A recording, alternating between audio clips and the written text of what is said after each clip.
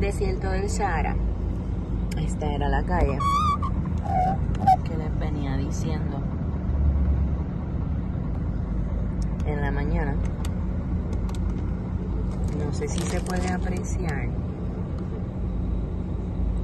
el espejismo, míralo ahí. El espejismo al final, al final. Super nice. By the way, Pablo y papi, ya les tengo su arenita de el desierto del Sahara. Y no de las de pote que venden.